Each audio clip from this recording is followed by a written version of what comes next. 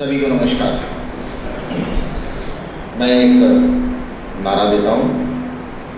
सभी लोग बोलेंगे, भारत माता की जय। अच्छे से बोलिए, भारत माता की जय। ये ठीक है। मेरी बात यहीं से शुरू करता हूँ। हम भारत माता की जय बोल रहे हैं। कौन सी भारत माता की जय बोल रहे जो हमने अभी थोड़ी देर पहले वंदे मातरम गाया था। सुजलाम, सुफलाम सस्य श्यामलाम क्या ऐसी भारत माता की जय बोल रहे हैं क्या हम लोग? और वो कौन सी भारत माता है जिसको हम सुजलाम, सुफलाम कहते थे? वो ये है कि आज जिसकी सुजलाम नदियों में, गंगा के पानी में रहा हो। क्या ये सुजलाम भारत माता है? या हम विचार कर सकते हैं कि सुफलाम भारत माता, कौन सी भारत माता सुजलाम है, सुफलाम है कि जहाँ पर फल आते हो।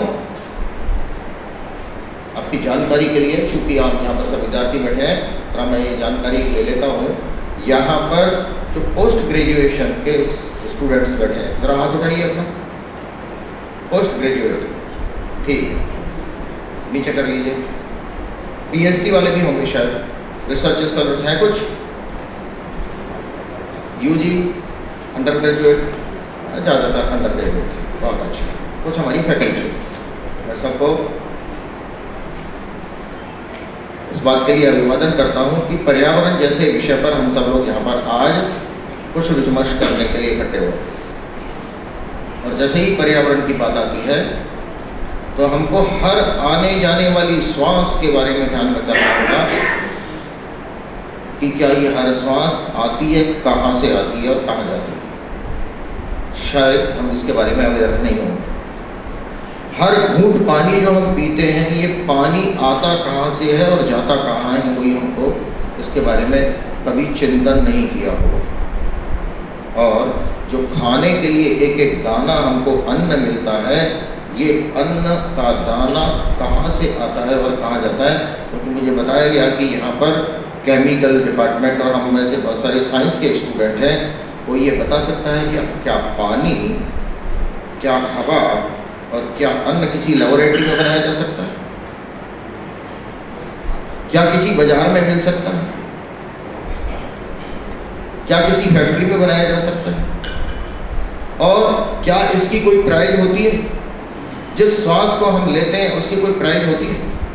विचार करना पड़ेगा कि ये प्राइसलेस है। इसको बनाया नहीं जा सकता। इसको बिगाड़ा जा सकता लेकिन बनाया नहीं जा सकता।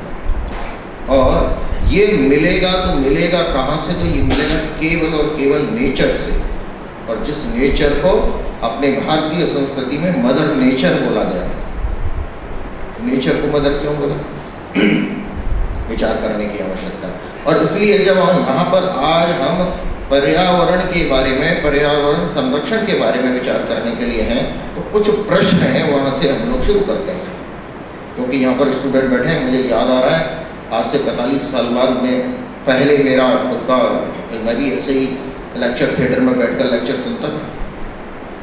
लेकिन सुनते समय एक बात ध्यान में रखता था कि सामने वाला कितना बोलेगा। कितने मिनट का होता है एक लेक्चर बताइए। मैं कुछ बीच बीच में इंटरेक्शन करूँगा, इसलिए सबको बोलेंगे तो मज़ा आएगा। है ना? तो इसलिए आप सुनने के मूड में रहिए, मत मत रहिए। कितने मिनट का होता है? आवाज़ नहीं आई। फोर्टी फाइव मिनट्स तो फोर्टी फाइव मिनट्स के ऊपर जाते ही लगता है कि ये कितना भी अच्छा है, लेकिन ऊपर के निकल गया है। तो इसलिए ये पक्की बात है कि इससे कम में ही अपन बात करेंगे। कुछ होगा तो आपके बाद में क्वेश्चन आंसर करेंगे। ठीक है ना? मैं कुछ क्वेश्चन आंसर से शुरू करता हूँ। मेरी तरफ़ से। फिर बाद में आप बताइएगा। तो पहला क्वेश्चन ये है कि हम में से किसी ने भगवान देखा है? क्या हाँ ना बोलते जाओ। नहीं देखा है कोई? बात नहीं है, भगवान। देखा किसी ने? नहीं। किसी ने भूत देखा है क्या? देखा? वो पंजाब में कहीं पर नहीं है भूत भूत तो भूत भी नहीं देखा होगा। अभी मैं बताऊँगा तब आप कहेंगे क्या? और मैं यदि ये कहूँ उल्टा कि वो भूत आपके घर में आता है रोज। तो आपको कैसा लगेगा? और भूत आता ही नहीं है। वो इतना डिजास्टर करता है कि आपको डेली नरक का रास्ता दिखाता नरक। अच्छा एक बात बताओ, दूसरी प्रश्न मेरा। आप में से नरक में कौन जाना चाहता है? हाथ उठाओ क्योंकि मैं तो बहुत परेशान हो गया हूँ, नरक में ही जाना चाहता हूँ। हर कोई स्वर्ग में जाना चाहेगा ना? अब ये मेरा दूसरा नेगेटिव क्वेश्चन है। आपसे भूत की क्या बात कर रहे हैं हम? नरक की क्या बात कर रहे हैं? तो ये दूसरा क्वेश्चन है कि नरक में जाना चाहते हैं क्या? आप नहीं। ठीक है? अब तीसरी बात है। नेगेटिव है, बुरा मत मानेगा क्योंकि जरा स्टूडेंट है तो मैं जरा कम्युनिकेट करना अपने में से किसी ने अपना डेथ इंश्योरेंस करा रखा है क्या? लाइफ इंश्योरेंस तो हर कोई करा है? जो डेथ इंश्योरेंस करा रखा है क्या? तो कोई कहेगा कि डेथ इंश्योरेंस के बारे में सुना ही नहीं होगा तो करवाएँगे कहाँ से? ठीक है ना? अब प्रश्न आता है ये तीनों बड़े नेगेटिव क्वेश्चन और वो भी एनवायरमेंट से क्या लेने देना है इसका? कि डेथ इंश्योरेंस क्या है? दूसरा भूत क्या है? तीसरा नरक क्या है? अब ये तीनों बड़े नेगेटिव से क्वेश्चन है, लेकिन इसको समझना पड़ेगा। चूँकि आप यूथ हैं यूथ होने के कारण हमारा ये कर्तव्य बनता है कि ये चीज़ें जाने। ठीक है ना? तो इसलिए पहले विचार करना है बातचीत में ये सब चीज़ आ जाएगा। लेकिन फ़िलहाल हम बात यहाँ से करेंगे। कि इस देश में, जिस देश को सोने की चिड़िया कहते थे, जिस देश को सुजलाम सुफलाम देश कहते थे, जिस देश को विश्व गुरु भारत कहते थे, आज एक कल्पना करिए, हमारी पीढ़ी, जो आपकी पीढ़ी है तो सोच ही सकती है, और जिस देश के अंदर भगवान भी साक्षात पैदा होने के लिए तरसते थे, कहा जाता था? आप भी सुनते होंगे शायद, या आज की पीढ़ी नहीं सुन रही है? सुन रही है? अब आप विचार करिए, क्या आज भगवान यदि सोचे कि मेरे को भारत में जन्म लेना है तो क्या सोचेगा? जिस देश में राम कृष्ण किसी भी भगवान को उठाकर देख लो, यहाँ आने के लिए तरसता था, वो आज क्या आएगा क्या? तो विचार करिए कि क्या दिल्ली का एयर क्वालिटी इंडेक्स 500 टू 600 है? होना चाहिए 50 टू 60 70 वहाँ पर देखकर भगवान कहेगा, मैं यहाँ पैदा होना चाहता बिल्कुल नहीं चाहेगा। क्या वो ये चाहेगा कि ये सुजलाम भारत माता जिसके अंदर, गंगा के अंदर मैला बह रहा हो, क्या मैं ऐसे देश में जन्म लू? शायद नहीं। और तीसरी बात कि जहाँ पर जिस देश के अंदर शायद आप सबको पता होगा, पर कैपिटा पर पर्सन ट्रीज की संख्या, per capita trees in India 28 हो instead of 422 422 trees per head होनी चाहिए as per W H O norms लेकिन भारत में केवल 28 ट्रीज पर हेड है। अब विचार करिए कि जहाँ 20 टाइम्स ट्री होने चाहिए, वहाँ पर 28 ट्रीज पर हेड होने से ऑक्सीजन कहाँ जाएगी? नहीं इंसेक्ट कहाँ जाएगी। ऑक्सीजन कहाँ से आएगी? ये पक्षी और पशु जिसको बायोडाइवर्सिटी कहते हैं, ये कहाँ जाएँगे? विचार करने की आवश्यकता है कि यदि ये इको सिस्टम इम्बेलेंस हो जाएगा और हो रहा है, क्योंकि 28 है, ये, और मैं आपको बाई चांस एक बात बता देता हूँ। मेरा हेडक्वार्टर सूरत है। सूरत में एक युवा आया और उन्होंने कहा कि मैं यहाँ पर प्लांटेशन करना चाहता हूँ। मैं क्या सूरत में ही क्यों आए हो जी? तो वो कहने लगे, अरे, आपको पता नहीं है भाई साहब, सूरत में पर हेड यानी पर कैपिटल प्रति व्यक्ति पेड़ों की संख्या सात है सेवन ओनली अहमदाबाद में है थर्टीन ट्रीज पर हेड और चंडीगढ़ में आपको हरियाली दिखती होगी। लेकिन हरियाली होने के बाद में भी 28 ट्री पर हेड तो एवरेज इस देश का है ही। उसमें से हम बच थोड़ी सकते हैं। विचार करने की आवश्यकता है। ये ट्री आप विचार करो कि आज़ादी के बाद आज हम कितना? पचहत्तर साल हो गए। सेवेंटी फाइव है ना? पचहत्तर साल में हमने कौन सी प्रगति की? क्या ये प्रगति की कि यहाँ का एयर क्वालिटी इंडेक्स पचास साठ की जगह पाँच हो जाए। ये कौन सी प्रगति है? ये कौन सी डेवलपमेंट है जिसके बारे में हम कह रहे हैं, हम डेवलपमेंट कर रहे हैं टेक्नोलॉजी के बारे में। यहाँ पर बहुत सारे टेक्नोलॉजी के विद्यार्थी हैं। ये कौन सी टेक्नोलॉजी है कि जो इस देश के अंदर पानी की हालत इस प्रकार से हो जाए कि जो पीने लायक ना हो? हर घर में आर लगा होगा।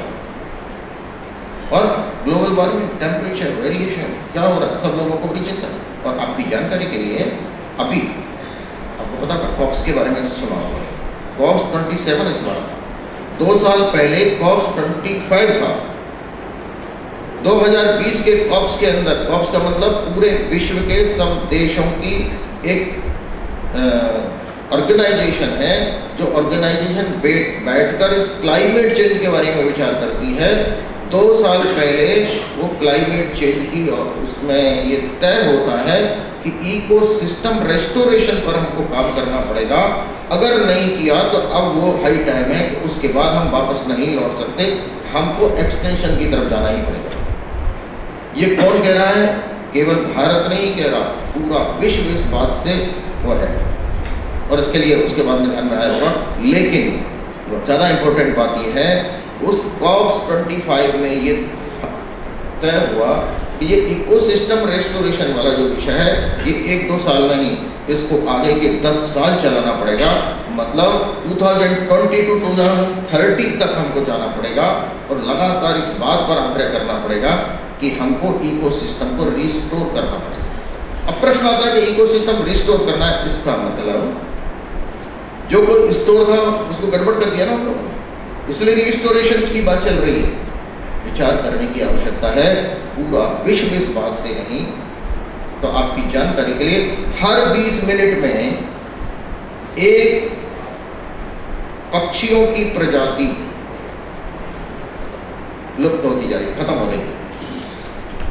क्यों हो रही है?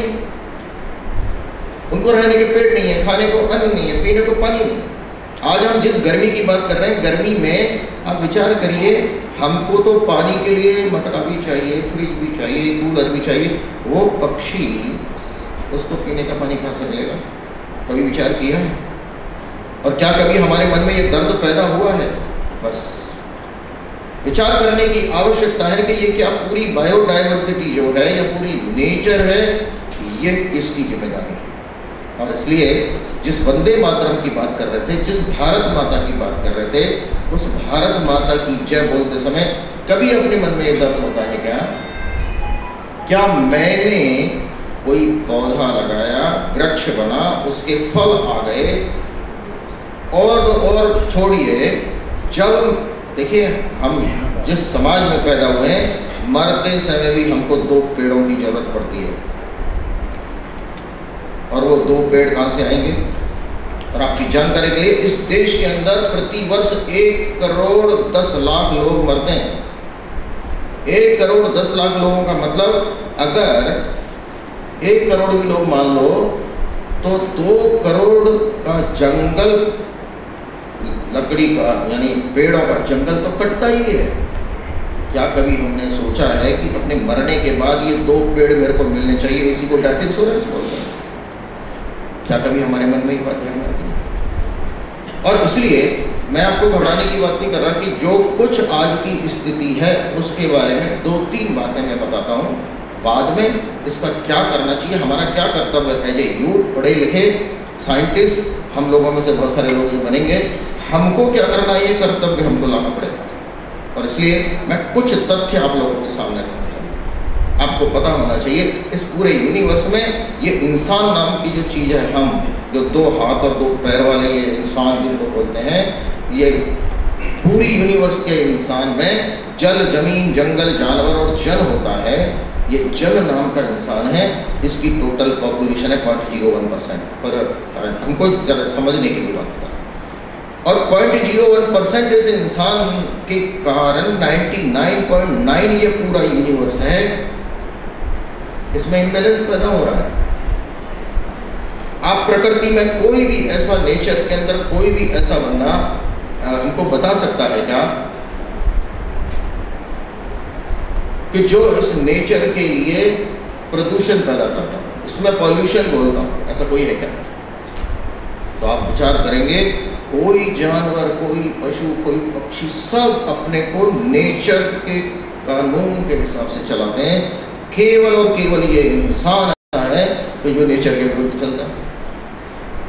और इसलिए विचार करने की आवश्यकता यह है कि इस इंसान को नेचर के साथ चलने के लिए बनाना या इसकी मानसिकता को कैसे भी हो गया होगा, उसकी चिंता नहीं। लेकिन प्रश्न ये आता है कि ये पॉइंट ज़ीरो वन परसेंट इंसान यदि कोरोना में तीन महीने घर के अंदर चला जाता है तो गंगा साफ़ हो जाती है? दिल्ली का air quality index seventy seventy पर आ जाता है। किसने किया हो किसी ने नहीं किया। बस ये इंसान को यदि ठीक से एजुकेट कर दिया जाए सेंसिटाइज कर दिया जाए तो हम कुछ कर सकते हैं। और इसे विचार करने की आवश्यकता होगी कि यदि इस प्रकृति को बचाना है तो इस इंसान को सेंसिटाइज करना पड़ेगा, नंबर एक। और इसलिए पहली बात पॉइंट ज़ीरो वन परसेंट, इस पर हमारा फोकस आना। नंबर टू हमको ये करने के लिए तीन बातें करनी पड़ेंगी। उसको बोलते हैं ए E L A E L का मतलब क्या है? तो विचार करना पड़ेगा। ए का मतलब है कि एनवायरमेंट के प्रति हमको एटीट्यूड को बदलना पड़ेगा। और एटीट्यूड को बदलने का मतलब ये पानी पानी नहीं है। मैं जो ये गिलास यहाँ पर लेकर आया, मैं पीने के लिए नहीं लाया था, आपको दिखाने के लिए लाया इसके प्रति एटीट्यूड क्या है? ये पानी है। मैंने आपको पहला प्रश्न किया था, किसी ने भगवान को देखा है क्या? दिस इज़ भगवान। वरुण देवता हमने माना है, भगवान माना है, और ये भगवान इसलिए कि ये हमको ज़िंदा रखता है। और इसलिए आप सोचिए, मैंने ये आधा गिलास पानी पिया। आधा गिलास पानी पी के आधा गिलास छोड़ दिया। अपने में से ऐसे कौन कौन है जो इस प्रकार से किसी बोतल में या गिलास में आधा गिलास पानी छोड़ते नहीं है? चलिए, इन्होंने हाथ उठाया है, इनके लिए ताली बजा दीजिए एक बार। ये बहुत बड़ी देशभक्ति है। बहुत बड़ी देशभक्ति है। किसी ने गलती से उठाया होगा तो भी अच्छी बात है। उठाने की हिम्मत होगी। लेकिन ध्यान रखिए, ये एक आधा गिलास पानी नहीं है। ये आधा गिलास पानी यदि अपने देश में, एक घर में, एक दिन में, एक बार भी वेस्ट जाता है, ये ड्रिंकिंग वाटर तो आपकी जानकारी के लिए डेढ़ सौ करोड़ लीटर पानी ड्रिंकिंग वाटर ज़मीन पर जाता है। पानी की कीमत का मतलब पता है? एक बूंद पानी की कीमत कितनी होती है? शायद आपको नहीं पता होगा। इस आधा गिलास पानी की कीमत क्या होती है नहीं पता होगा। ये आधा गिलास पानी यानी डेढ़ सौ करोड़ लीटर ड्रिंकिंग वाटर और ड्रिंकिंग वाटर एक लीटर का मतलब होता है जितना बरसात का पानी आता है रेनफॉल होता है, उसका 97 परसेंट समुद्र में जाता है। दो परसेंट ग्लेशियर्स में होता है। एक परसेंट ड्रिंकिंग वाटर होता है। एक परसेंट ड्रिंकिंग वाटर में से सेवेंटी परसेंट एग्रीकल्चर में जाता है। ट्वेंटी टू परसेंट फैक्ट्री में जाता है। सिक्स परसेंट हाउस होल्ड नाने धोने खाने में हम करते हैं। केवल ड्रिंकिंग के लिए टू परसेंट पानी out of this one percent मतलब पाँच हज़ार लीटर बरसात होती है तो हमको एक लीटर पीने का पानी मिलता है। पानी की कीमत समझिए आप? केवल पानी ये नहीं है पिया और हमने छोड़ दिया। एक लीटर ड्रिंकिंग वाटर का मतलब और इस आधा गिलास ड्रिंकिंग वाटर का मतलब है, डेढ़ सौ करोड़ मतलब तीन हज़ार करोड़ रुपए का पानी तो हम रोज आधा गिलास नाली में बहा देते हैं। और कहते हैं, पानी की कमी? पानी की कमी हो नहीं सकती। और पानी की कमी क्यों नहीं हो सकती? मैं आपको एक इंटरेस्टिंग फैक्ट बताना चाहता हूँ पूरे देश में सबसे ज़्यादा बरसात चेरा पूजी में होती है। हमको पता है? पता है ना? कितनी होती है? 11 मीटर से 13 मीटर 11 मीटर से 13 मीटर रेनफॉल यानी वहाँ बरसाती बरसात होती है। लेकिन फॉर योर काइंड इंफॉर्मेशन वहाँ पर ड्रिंकिंग वाटर नहीं है। ड्रिंकिंग वाटर की क्राइसिस लेकिन इंटरेस्टिंग बात क्या है? कि इस देश में सबसे कम रेनफॉल होता है कहाँ पर? राजस्थान में, जैसलमेर। मैं खुद जाकर रहा हूँ। और आपको, अभी तो खैर चलो, वहाँ पर फिर भी पानी गिरने लग गया। लेकिन एक 25 साल का लड़का अपने पिताजी से पूछता है कि पिताजी, ये बरसात कैसी होती है? कैन यू इमेजिन वहाँ पर केवल 17 सेंटीमीटर, यानी आधा फीट, इतना रेनफॉल होती है। लेकिन हमको जानकर इस बात का आश्चर्य होगा, उस आधा फीट, यानी 17 यानी मिनिमम रेनफॉल में वहाँ के लोग साल भर पानी पीते हैं, नहाते धोते हैं और एक फ़सल भी लेते हैं। क्या पानी की कमी? हमने पानी को पानी की तरह देखा नहीं, ये एटीट्यूड बदलना पड़ेगा। क्या क्या मेरे घर का पानी एक बूंद भी मिस यूज़ ओवर यूज़ हो रहा है क्या? और उस एक बूंद पानी के कारण क्या हो सकता है? इसकी कल्पना तो करें, उस किसान को जानिए, जो किसान हमारे लिए खाने के लिए दाना चुनता है, वो एक एक बूंद पानी के लिए तरसता है। विचार करने की आवश्यकता है कि हमको इसकी कीमत को ऐसे समझना पड़ेगा। और इसलिए जहाँ पानी के बारे में विचार करते हैं, पानी भगवान ने ऐसा बनाया है कि इसकी कोई कीमत भी नहीं है। कोई रंग नहीं है, रूप नहीं है, गंध नहीं है, स्वाद नहीं है। Colourless, odourless, tasteless, priceless. और उसके बिना हम ज़िंदा नहीं रह सकते, मज़े की बात। और चलो फैक्ट्री में नहीं बना सकते, और लाइफ में नहीं बना सकते, बाज़ार में नहीं मिल सकता। ऐसे नेचुरल रिसोर्सेस को हम मिसयूज करने वाले हो सकते हैं क्या? करना चाहिए क्या? ये हमारे यूथ को बदलना है, क्योंकि डेवलपमेंट के मायने बदलने व्हाट इज़ सस्टेनेबल डेवलपमेंट ये विचार करने की आवश्यकता नंबर एक। नंबर दो। क्या हम धरती के लिए भारत माता बोलते हैं? क्या इस भारत माता को माता की तरह देखते हैं? अब मैं आपको फिर बात करता हूँ, क्योंकि हमारे लाइफ में लाना है इसको लाइफ स्टाइल में लाना है। इसलिए इस एटीट्यूड को बदलना पड़ेगा। दूसरा एम्पैथी ई ए ई एल मैंने बोला था। ई e का मतलब हमको एम्पैथेटिक होना पड़ेगा। और एम्पैथेटिक होने के लिए उसके साथ में कुछ न कुछ एक रिलेशनशिप आज सबसे बड़ी बात यह क्राइसिस ऑफ़ रिलेशनशिप हो गया। और इसलिए पेड़ हमारे लिए लकड़ी का पेड़ है। अरे, हम कहते थे, प्राण वायु है। जल ही जीवन है। अरे जल जीवन कैसे हो सकता है? लेकिन अब हमको समझ में आने लगा है कि जल ही जीवन है का मतलब जल के बिना कुछ नहीं हो सकता। ऐसे ही हम विचार करेंगे कि इस धरती के बारे में। उसके बारे में भी मैं आपको इंटरेस्टिंग एक दो बात बताना चाहता हूँ। आपको पता है, जिसको हम भारत माता बोलते हैं, आप में से ऐसे कौन है कि जो डेली केमिकल और केमिकल डिपार्टमेंट है ना ये तो? है ना? तो वो तो आप तो ज़्यादा समझ जाएँगे। हम अपनी डेली लाइफ में मॉर्निंग टू इवनिंग कितना केमिकल यूज़ करते हैं, कोई बता सकता है? विचार करने की आवश्यकता। कितनी केमिकल करता है। अब मैं आप छोटा सा आपको एक कैलकुलेशन मिनिमम के लिए बताता हूँ। सवेरे उठेंगे तो साबुन paste shampoo cream toilet cleaner roof cleaner क्या बोलते हैं उसको?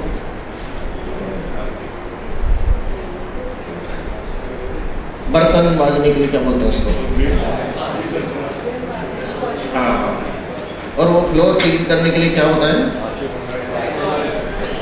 सबको पता? है अच्छा मच्छर भगाने के लिए क्या होता है? कॉस्मेटिक क्या होता है? सवेरे से शाम तक गिनती करेंगे तो पंद्रह से बीस प्रकार का केमिकल हमारा आप यूज़ करते हैं। अब विचार करिए कि पंद्रह से बीस प्रकार के केमिकल में यदि एक इंसान, यानी आप और मैं दिन में एक बार एक ग्राम भी केमिकल निकालते होंगे। देखिए, आप लोग सब पढ़े लिखे इसलिए मैं ये ये ये डाटा जानबूझ के दे रहा हूँ कि कम से कम आपके जहन में पहले तो आप ही कन्विंस होंगे कि हाँ बात तो सही है, नहीं कोई फालतू की बात है। अरे, पुराने जमाने में तो ऐसे होता था जी। अरे, पहले नहीं होते थे। पहले रीठा मिलता था, आजकल तो केमिकल को क्या बोलते हैं शैम्पू मिलता है जी। पुराने लोगों की क्या बात है? लेकिन आप लोग कन्विंस हो जाए इस बात के लिए, मैं ये कह रहा हूँ कि अगर एक इंसान एक दिन में एक ग्राम भी केमिकल यूज़ करता हो, सवेरे से शाम तक तो इस देश के अंदर 140 करोड़ लोगों में से 100 करोड़ भी मान लें तो 100 करोड़ ग्राम केमिकल का मतलब दस हज़ार मैट्रिक टन केमिकल रूपी जहर इस पृथ्वी को, इस भारत माता को जय बोलने वाले आप और मैं देते नहीं और हम देशभक्त हैं। क्या भारत माता की जय बोलने वाले? बंदे मातरम बोलने लायक हैं। जो पुत्र या पुत्री अपने माँ को जहर देता हो डेली। आप विचार करिए, वो डेली जहर देने वाला युवक, युवती इस देश का कहलाने वाला, इस देश की धरती को बचा सकता है अब सोचिए, वो केमिकल जो हम यूज़ करते हैं, पानी के थ्रू ज़मीन में जाएगा, पानी में जाएगा, जानवर को खत्म करेगा, ज़मीन को खत्म करेगा और कहेंगे वो पंजाब वाले लोग हैं ना वो ज़्यादा क्या बोलते हैं क्या खेती में क्या डालते हैं? यूरिया डालते हैं उसके कारण ज़मीन खराब हो रही है। आपके कारण तो अच्छी हो रही है ना? तो वो तो वो तो है देशद्रोही। हम बड़े देशभक्त हैं जो डेली इस धरती को केमिकल क्या हम विचार कर सकते हैं कि क्या केमिकल फ्री हमारी लाइफ स्टाइल हो सकती है क्या? केमिकल फ्री नहीं हो सकती तो भाई भगवान के लिए इतना तो सोच सकते हैं। एक दिन मैं डिटॉक्स करने के लिए इस मेरी भारत माता को एक दिन मैं केमिकल यूज़ नहीं करूँगा। अरे चलो, इतना भी छोड़ दो तो इतना कर सकते हैं कि एक दिन तो शैम्पू नहीं लगाऊँगा जी, कोई दिक्कत नहीं। लेकिन ये देशभक्ति, ये अपनापन, ये एम्पथी ये मेरी भारत माता है, ये नेचर मदर नेचर है। ये क्या मेरे मन में उत्पन्न हो सकता है क्या? ये भावना, ये इमोशंस जगाने की आवश्यकता है। क्या ये प्रकृति के प्रति नेचर के प्रति? ये किसी यूनिवर्सिटी में नहीं पढ़ाया जाएगा। किसी कोर्स में आपको नहीं पढ़ाया जाएगा। ये बात जब ध्यान में आता है कि दिल्ली का एक अरबपति, जिसके 300 नौकर काम करते हो, आप सोचिए वो एक हॉस्पिटल के सामने कोरोना में केवल इसलिए तड़प के मर रहा है कि उसको एक सिलेंडर ऑक्सीजन नहीं मिली। और उसने कहा, जितना पैसा चाहिए, उतना ले लो। मैंने आँखों से देखा है, वो बंदा आखिर तो उसी हॉस्पिटल के सामने मरा। पैसे काम आए आपको पचास हज़ार रुपए दे दिए जाए। आप एक ग्राम ऑक्सीजन बना के तो दिखा दीजिए। पानी बना के तो दिखा दीजिए, कोई अन्न का दाना होगा के तो दिखा दीजिए, पैसे से ये सब नहीं होता है, कृपया ध्यान में रखें। इसलिए क्या हम ये विचार कर सकते हैं कि हमारा कोई रिलेशन इस एनवायरमेंट इस नेचर इस मदर नेचर के लिए है क्या? इसलिए ये एम्पैथी ये एम्पैथेटिक होना पड़ेगा। और नंबर तीन है लाइफ स्टाइल जो सबसे इंपॉर्टेंट ये लाइफ स्टाइल हमारी अगर बदली है। और लाइफ स्टाइल बदलना है तो सबसे पहले एटीट्यूड को बदलना पड़ेगा। उसके प्रति एम्पैथेटिक होना पड़ेगा, ये मेरा अपना है। और तीसरा, मेरा अपने का मतलब मेरे आगे आने वाली पीढ़ी को क्या होगा आप विचार कर सकते हैं। तो ये एम्पैथी लानी पड़ेगी। और तीसरा, फिर हमारा मन ये कहेगा कि अब मेरी लाइफ स्टाइल में बदल होना चाहिए। यानी मेरे सवेरे से शाम तक के जीवन में यदि मैं एक बूंद पानी को देखने लग जाऊँगा, या वो भूत को देखने लग जाऊँगा, अब भूत वाली बात इंटरेस्टिंग है। बताऊँ आपको भूत? तो सब ये पक्का है ना कि हमारे घर में भूत नहीं आता है? हाँ बोलिए। अभी थोड़ी देर में आएगा। हर घर में आता है वो भूत। और इतना खतरनाक भूत है कि यदि उसको हमने बोतल में बंद नहीं किया तो हमको नरक में जाना पड़ेगा। अब बात उठाएँगे बोतल और भूत और ये क्या है? वो है ये सिंगल यूज़ पॉलिथीन पर्यटन अब ये सिंगल यूज़ पॉलिथीन भूत कैसे वो समझ लीजिए देखिए, मैं चूँकि आप पढ़े लिखे लोग हैं, मैं थोड़ा बताना चाहूँगा कि इस प्रकार के पाउचेज, है ना, आजकल तो हर चीज़ में आने लगे शायद 80 परसेंट नाइन्टी परसेंट चीज़ तो ऐसे पाउचेज में आने, चाहे बड़ा होगा, चाहे छोटा होगा। ऑयल होगा, कोई भी होगा, ये आता है। जैसे ये भी है। अब पहली बात समझ लीजिए कि हम नॉर्मली जैसे दूध की थैली है, अगर दूध हमको थैली में से निकालना है तो हम क्या करेंगे? उसके कॉर्नर को करते हैं। खाना बोलते जाओ। करते हैं। ना करते तो होंगे। खैर, वो जो कॉर्नर कटता है या ऐसी एक पाउच है, उसको हमने ओपन किया। ओपन किया तो हमने इसको ऐसे फाड़ा या ऐसे फाड़ा ये जो छोटा सा टुकड़ा है, ये जो मेरे हाथ में है, ये छोटा सा टुकड़ा कहा जाता है मुझे बताइए? चलो, बड़ा तो आप मान लो। ये छोटे छोटे टुकड़े। केवल मैं आपको बता दे रहा हूँ, केवल दूध के कॉर्नर्स जो कटते हैं, अपने देश में साढ़े छह करोड़ पर डे। और उन कॉर्नर्स को निकाल दें तो वो कॉर्नर्स का वज़न होता है थ्री हंड्रेड टन ओनली और अगर माना हम टॉफ़ी चॉकलेट ये ऐसे जर्दा यानी जो ऐसे पाउचेज हैं, उसके यदि ये छोटे छोटे निकालें तो पर डे एक लाख मैट्रिक टन ये छोटे छोटे टुकड़े ज़मीन पर जाते हैं। कौन म्यूनसिपलिटी उठाएगी मेरे को और ज़मीन पर जाते हैं का मतलब वो उठ नहीं सकते। उठ नहीं सकते का मतलब कुछ दिनों में वो माइक्रो प्लास्टिक बन जाते हैं। ज़मीन में माइक्रो प्लास्टिक की लेयर बन जाती है। अगर पानी में बह जाते हैं तो उसको पानी के अंदर जाकर पानी को खराब कर देते हैं। और आपकी जानकारी के लिए जो नमक हम खाते हैं, उसमें माइक्रो प्लास्टिक्स आने लगे हैं केमिकल वाले तो जानते ही होंगे कि हम नमक के रूप में भी माइक्रो प्लास्टिक्स को अंदर ले रहे हैं। लेकिन ये छोटे छोटे टुकड़ों का क्या होगा? आपको भी म्यूनसिपलिटी की सरकार कुछ नहीं कर रही है जी। वो उठाती नहीं है, कौन उठाएगा? काटोगे आप, उठाएगी वो। अजीब मामला तो हमको विचार करना पड़ेगा कि क्या हम अपनी प्रैक्टिस में जन जन तक इस बात को पहुँचा सकते हैं कि भाई इसको काटो डिटैच मत करिए अटैच रहने दो। ये करने में भी ज़ोर आता है। प्रॉब्लम इज़ दैट मतलब हम इतने आलसी और इतने वैसे हो गए हैं कि ये करने, अरे ये कौन करेगा? और मेरे एक टुकड़े से क्या होगा? अरे वो एक टुकड़ा आपके पास ही आने वाला ध्यान रखिएगा। और इसलिए विचार करने की आवश्यकता है कि जिस प्लास्टिक की सिंगल यूज़ प्लास्टिक की बात यह है भूत। ये सिंगल यूज़ प्लास्टिक पॉलीथीन जो हमको ज़मीन पर, समुद्र के किनारे, के सब जगह दिखता है। क्यों नहीं उठता वो? क्योंकि उसकी वैल्यू है। किसी ने रद्दी ज़मीन पर पड़ी हुई देखी? किसी ने लकड़ी पड़ी हुई देखी ज़मीन पर?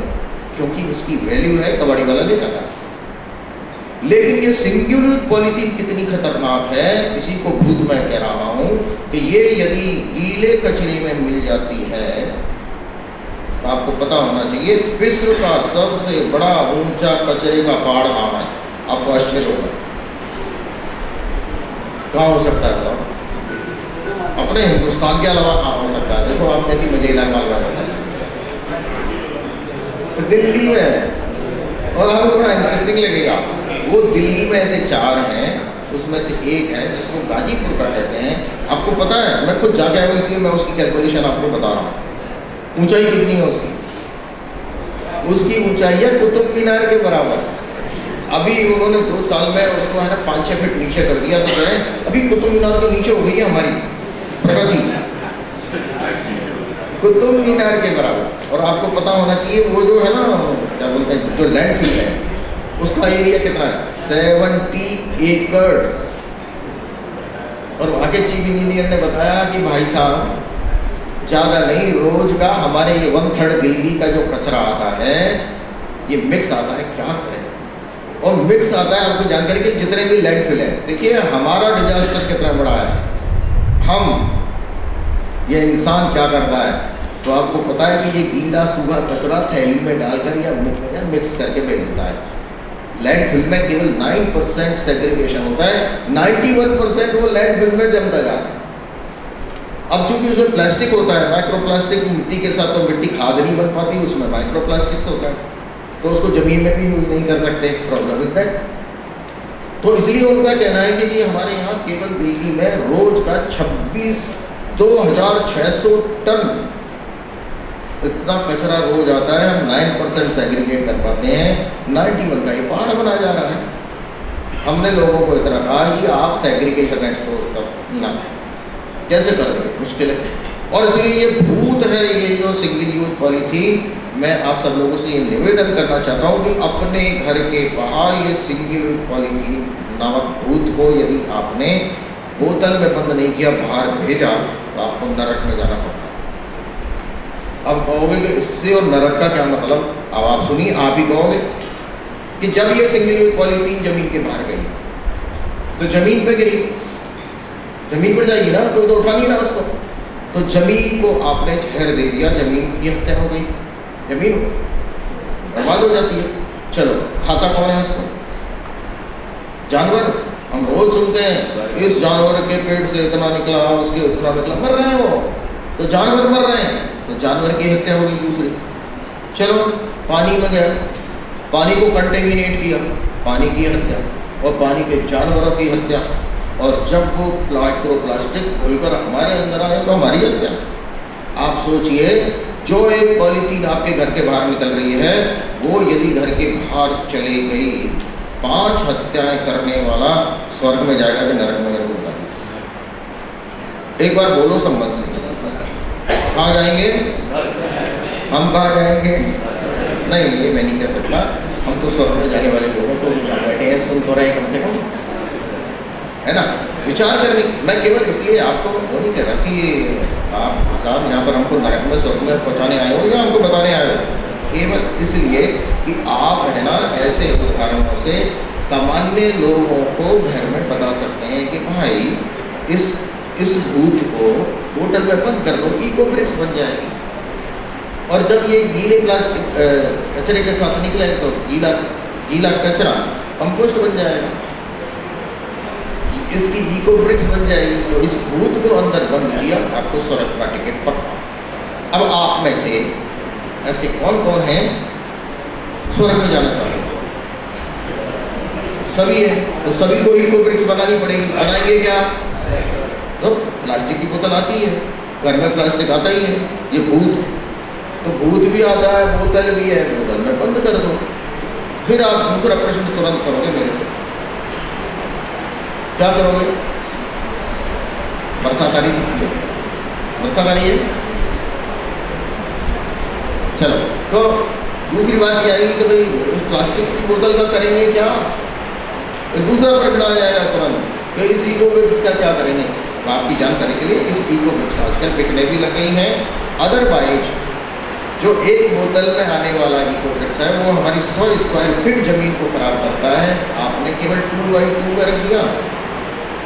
और भले ही उसके बाद आपने कचरे में भी डाला तो गाय तो नहीं खाएगी, ज़मीन तो खराब नहीं होगी। जो भी है, मेरा कहना का मतलब क्या है कि हमको यदि पर्यावरण प्रेमी होना है नेचर के प्रति सेंसिटिव होना है तो हमको ये विचार करना पड़ेगा कि हमारी लाइफ स्टाइल क्या और इसलिए इस लाइफ स्टाइल में हम क्या ये छोटे छोटे प्रयोग हमारे दैनंदिन जीवन में डेली लाइफ में कर सकते हैं क्या? इसलिए attitude empathy and lifestyle इस तीन बातों में करना पड़ेगा। हम क्या इसकी ओर बढ़ सकते हैं क्या? आपके पास कौन सी डिग्री है? ये प्रश्न नहीं है। आपने कितना ग्राम केमिकल निकाला? ये आपकी डिग्री को ये तो पढ़े लिखे क्या आजकल पढ़े लिखे सबसे ज़्यादा बिजली एनर्जी का कंजम्पशन करते हैं। सबसे ज़्यादा वेस्ट करते हैं। और एक सर्वे किया गया, जो एचआईजी वाले होते ना, जो बड़े बड़े फ्लैट वाले, वहाँ पर पर पर्सन 600 ग्राम कचरा निकलता है और एलआईजी छोटे जो घर होते हैं, वहाँ पर ओनली 250 ग्राम यूज़ निकलता है। थ्री टाइम्स अब विचार करिए प्रगति का नाम ये है क्या? कि आप प्रकृति को जितना ज़्यादा डैमेज करेंगे आप उतने बड़े प्रगतिशील हो जाएँगे। ये हमको चिंतन करना पड़ेगा एक बात। इसलिए ये तीसरी बात हुई मेरी। अब मैं अंतिम बात वो सबसे इंपॉर्टेंट है। वो क्या है? हम में से मेरे ख्याल से यहाँ पर बैठे हुए होंगे लोग आप कुछ 25, 20, 25 से लेकर 50 साल तक होंगे। ठीक है ना? जब हम पहले दिन पैदा हुए, तब से हमने सांस लेना शुरू किया होगा। और आज तक continue non stop three by seven by three sixty five हम सांस ले रहे हैं कि नहीं अपने में से किसी के मन में ही आया, क्या? ओहो, जब से पैदा हुए, सोते, उठते, बैठते, सांस ही सांस ले रहे हैं। एक दो घंटे आराम तो कर ले। ये किसी के मन में आया तो बता दो मेरे है कोई वीर पुरुष अपने में? आपको भी कैसी बात कर रहे हो जी? इसके बिना तो कोई नहीं। कुछ मिनट भी जिंदे नहीं रह सकते। मिनट तो मैंने ज़्यादा बोल दिया शायद। कोई है अपने में ऐसे ही लोग मिनटों में जा सकते हैं, समाधि लगा के। लेकिन विचार करने की आवश्यकता है कि जिस श्वास को हम लेते हैं, उस तो श्वास के प्रति हमने कोई विचार किया क्या? कहाँ से आती है? अगर हवा की बात करेंगे तो हवा कहाँ से आती है? तो विचार करेंगे, पेड़ से आती है। लेकिन उस पेड़ से आती है पेड़ के प्रति हमारा क्या हुआ? है एटीट्यूड विचार करिए। मैं पेड़ की एक कथा आपको कथा नहीं आई I मीन mean, एक छोटा सा वो है जिससे कि हमको ध्यान में आ जाएगा एक पेड़ का समर्पण हमारे लिए क्या हो सकता है? तो हम उससे कनेक्ट कर पाएँगे। देखिए पेड़ का समर्पण ये है जब तलक ज़िंदा रहेगा कौन? पेड़। जब तलक ज़िंदा रहेगा आसिया दे जाएगा। पेड़ जब तक ज़िंदा रहेगा आसिया दे जाएगा। कत्र होगा, पेड़ तो लकड़ियाँ दे जाएगा। पेड़ का मतलब ये मैं अभी वो देखता था, पेड़ का एक लगा हुआ था। पेड़ कितने प्रकार की चीज़ एक पेड़ हमारी ज़िंदगी के लिए थर्टी एट टाइप्स ऑफ़ चीज़ें देता है। केवल पेड़ नहीं है वो। हमने सोचा, पेड़ लगा दो जी, काम हो जाएगा। नहीं, वो पेड़ का मतलब क्या होता है? तो हमने विचार करना है, उम्र भर देता रहेगा श्वास अपनी श्वास से। उम्र भर देता रहेगा श्वास अपनी श्वास से, फिर तुम्हारे घर की चौखट और खिड़कियाँ ले जाएगा। पेड़ का मतलब ये है। और हैं, जब नदी के दो किनारे बाढ़ में बह जाएँगे, जब हमारे यहाँ पानी बाढ़ी बाढ़ आ जाता है और आता भी क्यों है कि वहाँ पेड़ नहीं है? जो ज़मीन को कस के रखने वाला है, वो एलिमेंट ही हमने हटा लिया, क्योंकि केवल ट्वेंटी एट, ध्यान रखना। कि ट्वेंटी एट का मतलब क्या होता है? फोर ट्वेंटी टू के उसमें। तो जब नदी के दो किनारे बाढ़ में बह जाएँगे, तब तुम्हें मंजिल की खातिर कश्तियाँ दे जाएगा। उसी पेड़ की किस्तियाँ जिसको हम बेदर्दी के साथ काट देते हैं। विचार करने की आवश्यकता है, जो अपनी श्वास से हमको श्वास देता है। अब मैं तो मैकेनिकल का विद्यार्थी जरा कैलकुलेटर में लेके बैठ गया तो पेड़ कितना देता है जी हमें तो मैं कैलकुलेट करने लगा। आपको आश्चर्य होगा तो कैलकुलेशन कैसे ऑक्सीजन तो ऑक्सीजन कितनी होती है हवा में?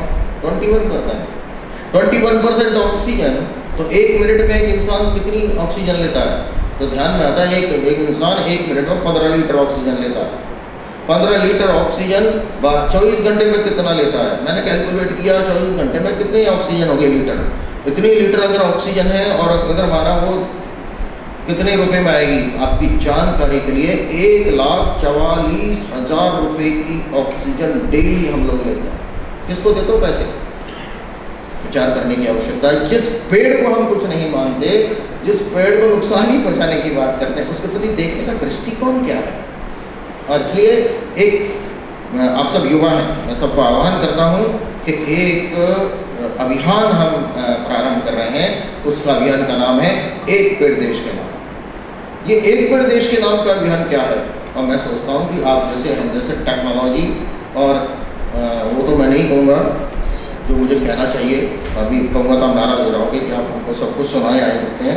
केवल इतना कहना चाहूँगा, उस एक पेड़ देश के नाम में चार शर्तें हमको रखनी है। और चार शर्तों के आधार पर वो हमें एक पेड़ देश के नाम का अभियान है। वो क्या है पता है आपको? पहला, एक पेड़ देश के नाम में पेड़ नहीं लगाना। हाँ हाँ हाँ करते जाना एक पेड़ देश के नाम में पेड़ नहीं लगाना चलेगा ना हाँ बोलो।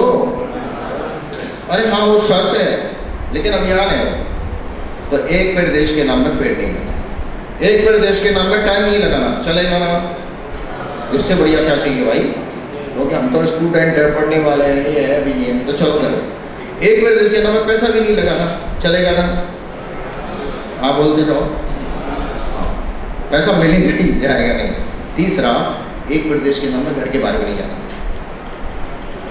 बताओ, इससे सस्ता, सुंदर अच्छा कोई और मार्केटिंग हो सकती है क्या? एक पेड़ देश के नाम में पेड़ नहीं लगाना, एक पेड़ देश के नाम में पैसा नहीं लगाना, एक पेड़ देश के नाम में समय नहीं लगाना, एक पेड़ देश के नाम में घर में बाहर नहीं जाना। ये चार शर्तों के आधार पर ये एक पेड़ देश के नाम का अभियान हमको हम सब कर सकते हैं ना ये?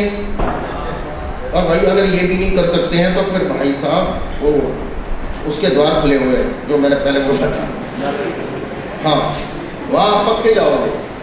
क्योंकि जब इतना सस्ता सौदा भी हम नहीं करने को तैयार तो मरने को तैयार हो। भाई, और तो कोई इलाज है नहीं।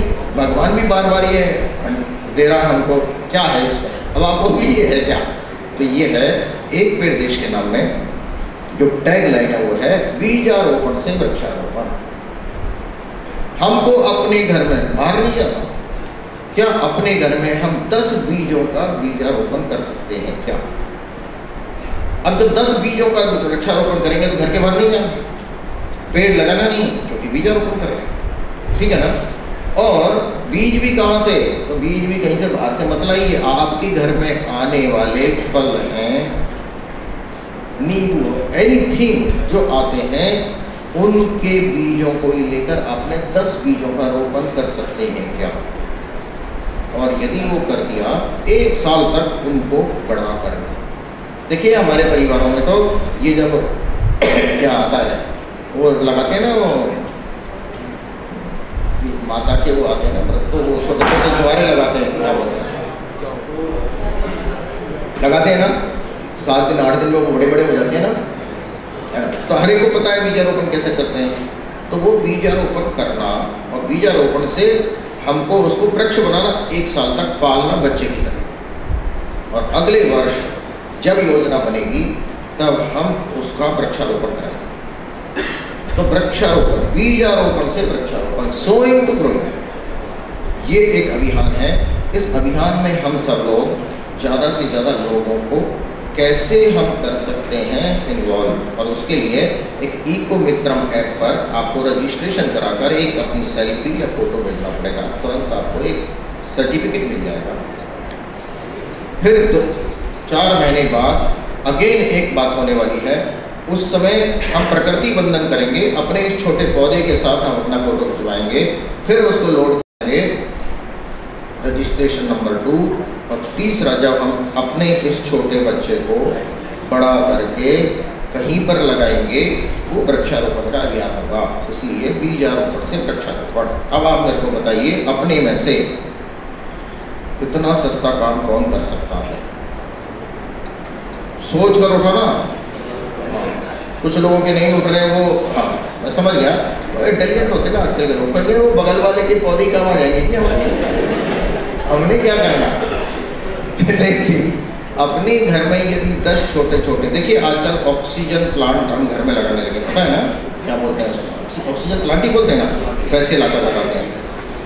घर का एटमोसफियर ठीक है। अरे आपने दस पौधे लगाए, आपके घर का वातावरण पॉजिटिव होगा ही। हमारी नेगेटिव एनर्जीज को पेड़ एब्जॉर्व करते हैं। आजकल साइंटिफिक रिसर्च आ गई है। कि हमारी नेगेटिव एनर्जी को। और इसलिए घर में, कहीं किसी के घर में है ना, सास बहू का झगड़ा हो आपस में किसी किसी का गड़बड़ हो, आप लगाइए। ठीक होगा। अरे नहीं होगा तो ऑक्सीजन तो मिलेगी। क्या दिक्कत है? ठीक है ना? तो कुल मिलाकर क्या है कि यदि हमको इस पूरे प्लेनेट को बचाना बचाना है एक्शन करना पड़ेगा। मैं बड़े बड़े डाटा देकर आपको इतना बिलियन यहाँ पर, उतना बिलियन वहाँ पर करता, हमको क्या करना है पता नहीं। कृपया ये तीन चार चीज़ें हम करेंगे कि क्या हम केमिकल फ्री अपनी लाइफ स्टाइल में कोई एक दिन डिटॉक्स हो सकते हैं। पहली बात। हाँ बोलते जाना डिटॉक्स करेंगे एक दिन? चलेगा? हाँ अगर आपको बहुत ही ज़रूरत हो तो आप है ना केमिकल फ्री ले आओ। अन्यथा उस दिन मत ना हो नहीं खाना तो ज़रूरी है। खाने के लिए मैं नहीं कह रहा। लेकिन हम केमिकल फ्री अपनी लाइफ को बना सकते हैं। केवल अच्छा आप कहोगे, अपने में है ना बहुत सारे इंटेलिजेंट लोग होते हैं। ओके मेरे करने से क्या होता है और एक करने से क्या होता है? वो सरकार से है ना, वो फैक्ट्री को बंद करवा दो ना। अपना खुद नहीं करेंगे। प्रश्न ये है कि ये बीज, अपने मन में बीज आरोपण करना। ये जो एम्पैथी है, ये अपने दिमाग में लाना। इसकी ज़रूरत है। इसलिए हमको एक लाख लीटर पानी बचे, इसकी ज़रूरत नहीं है। ये आधा गिलास पानी यदि बचने के लिए अगर हमारे मन में पैदा हो गया तो ये हो गया ना बीजारोपण तो ये बीजारोपण ये एम्पति करना, ये बहुत ज़रूरी है। इसलिए मेरा ये कहना है कि हम के लिए तीन चार बातें मैं उनको जरा सेट कर रहा हूँ कि क्या हम केमिकल फ्री अपनी लाइफ डिटॉक्स इन्हें भी कर सकते हैं ना? कर सकते हैं ना? ज़ोर से तो बोल दो मैं कुछ मतलब क्या है कि मैं कुछ चाहूँगा करो मत करो तो आपको मत दूसरा क्या हम अपने घर में दस छोटे बीजों का बीजारोपण कर सकते हैं क्या? पक्की बात हाँ मैं तो कुछ हो गया आप ज़ोर से बोल रहे हो तो कुछ कुछ तो हो। गई नंबर तीन क्या हम अपने घर में कोई भी लाइट अनावश्यक चल रही हो? मिस यूज़ और ओवर यूज़ जितना ज़रूरत है उतना ज़रूर चलाओ। चार एसी चलाना चलाओ। लेकिन जहाँ पर ज़रूरत नहीं है वहाँ यदि चल रहा हो उसको हम ऑफ़ कर सकते हैं क्या? Yes, और आपकी जानकारी के लिए इसका कितना बड़ा इम्पैक्ट होता पता है? कि अगर एक घर में सात दिन में एक यूनिट बिजली की बचत करते हैं केवल इसको ओवर यूज़ एक यूनिट बिजली यदि होती है तो 875 ग्राम कोयला जलता है और जिस कोयले को बनने में पचास हज़ार से एक लाख वर्ष लगते हैं। आप एक मिनट में जला देते हैं। और केवल किस लिए ज़रूरत ही नहीं है। मिस यूज़ हो रहा है। तो क्या इस मिसयूज और ओवर यूज़ को बचाने के लिए यदि हमने किया, हम इस देश में प्रति सप्ताह, मैं एक सप्ताह का एक यूनिट बोल three three thousand five hundred metric ton कोयला प्रति सप्ताह बचा सकते केवल इस मिसयूज को रोकने के लिए। क्या हम अपने घर में अनावश्यक चल रही बिजली या इनके उसको ऑफ़ कर सकते हैं क्या? कर सकते हो? नंबर थ्री नंबर फोर आधा गिलास पानी।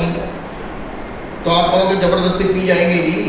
तो मैं घर में गया एक बारी कॉलेज में पढ़ने वाली एक बहन जी आई, पूरा घर चला। मैं अरे अगर सा करो, इसको आधा चाहिए अच्छा अंकल जाती हूँ। गई। और वो आधा गिलास उसने सिंक में डाला और आधा गिलास लेके आ गई।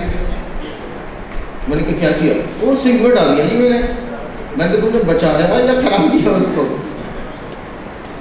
इस इंटेलिजेंस को ध्यान में रखना है कि हम पहले उसको आधा दे दो ना, कौन सा मरे गिरा है?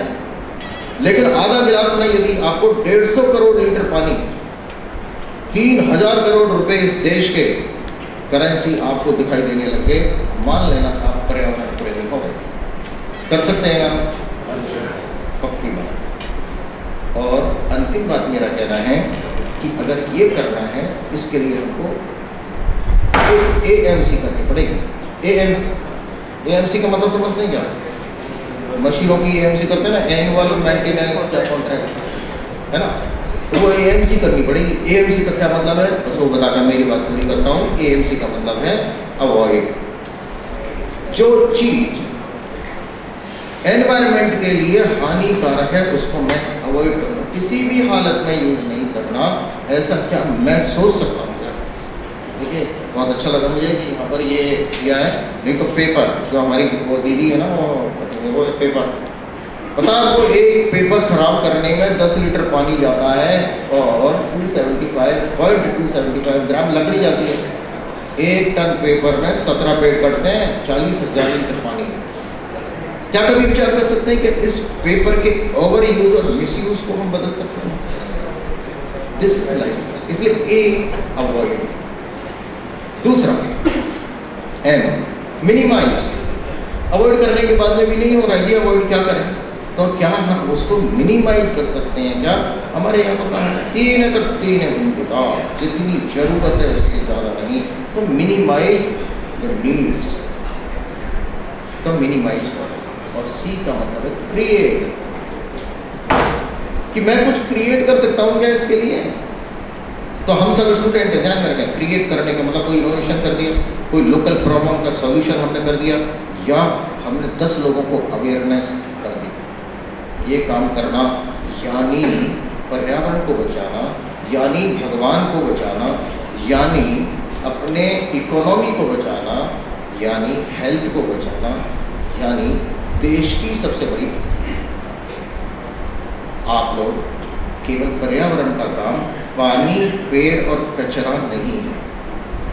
हमको ये विचार करना पड़ेगा कि आज है ना किसी पाकिस्तान से लड़ने की ज़रूरत नहीं है, वो अपनी मौत मर रहा है। उसकी चिंता नहीं है। पूरे विश्व में आज हमारी नेतागिरी चालू हो गई है, पता है ना? यूक्रेन और अमेरिका के अंदर बीच में पंचायती करने के लिए भारत को नहीं बुलाया जा रहा। आओ जी आप, करवा दो मैं उसकी ज़रूरत नहीं है। आज यदि हमको बचाना है तो इस इंसान रुकने की पूरी सृष्टि को, पूरी मानव जाति को बचाने के लिए इस एनवायरमेंट को बचाना पड़ेगा। और ये सबसे बड़ी देश ये सबसे बड़ी लड़ाई है। और इस लड़ाई के लिए आप सब युवा हैं। मैं आपसे कहना चाहता हूँ कि जो भी इस अभियान के अंदर जुड़ना चाहे जो भी इसके लिए अपना कंट्रीब्यूशन करना चाहे तो हमारे यहाँ पर इस प्रकार की बात है कि हाँ जाइए गाँव गाँव में जाइए। तो कोई अपना समय देना चाहता है, कोई इसके लिए अपनी कंट्रीब्यूशन देना चाहता है कि मैं कंट्रीब्यूशन का मतलब पैसा नहीं होता है। कंट्रीब्यूशन का मतलब समय देना पड़ेगा, खुद को लगाना पड़ेगा। और इसलिए क्या हमारी जवानी इस समाज को, इस यूनिवर्स को बचाने के लिए हो सकती है? क्या ऐसे युवा हैं जो यहाँ पर अपने आप को चाहते हैं कि हाँ एनवायरनमेंट के प्रति मेरा बहुत ज़्यादा कमिटमेंट है, मैं करना चाहता हूँ, करना चाहती हूँ तो हमारे यहाँ पर कुछ कार्यकर्ता जो इस बात को देखेंगे, वो उधर बैठे हुए हैं, क्या नाम है प्रवीण जी, हमारे इस पंजाब स्टेट का काम देखते हैं। जिसको भी लगता है, वो आए, हमको खुशी होगी। पूरे देश में अभी पचास हज़ार यूनिवर्सिटी के स्टूडेंट हमारे एस आई पी से जुड़े हुए हैं।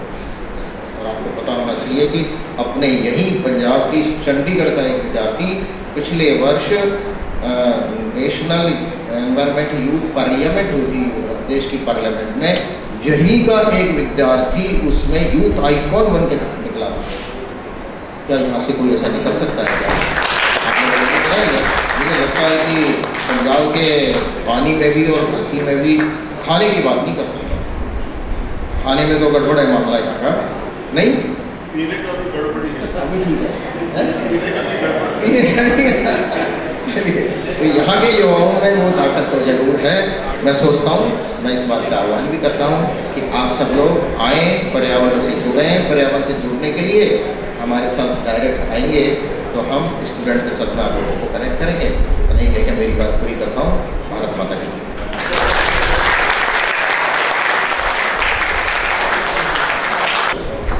Thank you so much, sir. We have all been benefited from your perspective. And now since you have raised our level of curiosity, I would like to commence with the question and answer session. So please आप लोग अपने प्रश्न लेके आइए और sir उनका जवाब देंगे। तो उससे अच्छा है कि अगर हम ये सब कुछ जो हम ऐसे प्रोग्राम करते हैं हम फ़ील्ड में करें। बच्चों को भी को थोड़ा मौका मिलेगा कहीं पेड़ों के नीचे जाने का और पेड़ों के पास पहुँचने का।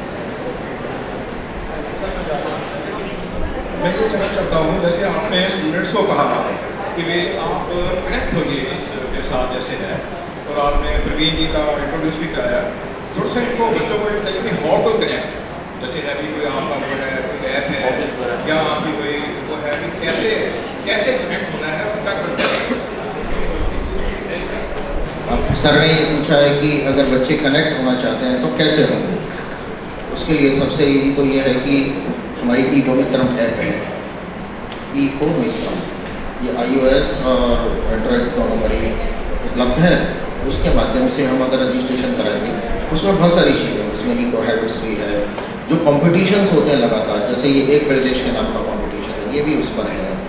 हम इको सोल्यूशन चाहते हैं सोल्यूशंस हैं। उसमें इको संडे मतलब जो अपने में से भी अगर कोई ऐसे छात्र होंगे जो बहुत अच्छा काम कर रहे हैं, उनका हर संडे एक वीडियो रिकॉर्ड करके आता है। हम पूरे देश में इस प्रकार का एक कर सकते हैं। एक तो वो माध्यम है। दूसरा, हम हर कॉलेज में, या यूनिवर्सिटी में एक environment nodal officer teacher in charge बनाते हैं। आपकी जानकारी के लिए अब तक लगभग सेवेंटी फाइव यूनिवर्सिटी को पूरे देश में बन चुके हैं। वो एनवायरमेंट नोडल ऑफिसर जो टीचर इंचार्ज होता है, वो हमारे इस बच्चों को कनेक्ट करने का, या वहाँ पर जो डेली एक्टिविटी होती है उसको करने के प्रयास होते हैं। तो यहाँ पर भी मेरे ख्याल से ये नो है, नहीं तो है क्या कोई? कौन है? अच्छा ये दीदी है ये जिनको भी करना है एनवायरमेंट तो प्लीज़, आप उनके हाथ मज़बूत करें। इसी कैंपस में दीदी है।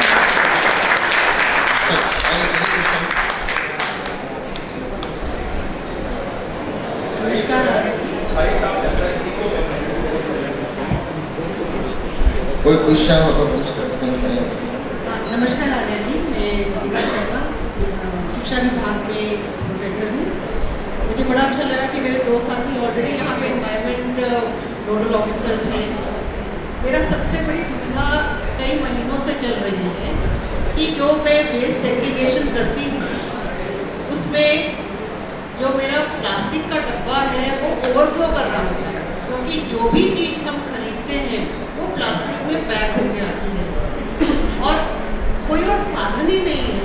आप चाहे दुकान से लीजिए अमेजन से लीजिए इतना पैकिंग मटेरियल आता है कि आपके पास मालूम नहीं कि उसको कट्ठा कहाँ करें हमारे बच्चों ने टेट्रा पैक्स को फ्लैट करके रखा। कि इनको वेस्ट में नहीं फेंकना, इनको किसी एक जगह पहुंचाना है।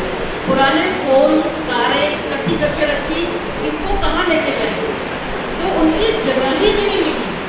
एलिजिबिलिटी कहती बेस कहाँ? उसके बारे में भी ज़रूरी है। क्योंकि लोगों के जो इंडिविजुअल प्रयत्न वो कहाँ पर जाके कम्युनिटी में उनका प्रॉपर यूज़ हो पाए, उसकी कलेक्शन हो पाए, और उसका प्रॉपर यूज़ हो पाए। अगर ये हम जो फ्लो चेंज है ये अगर हम शिक्षा संस्थाओं में ही क्लियर कर लें म्यूनिसिपलिटी के साथ में आज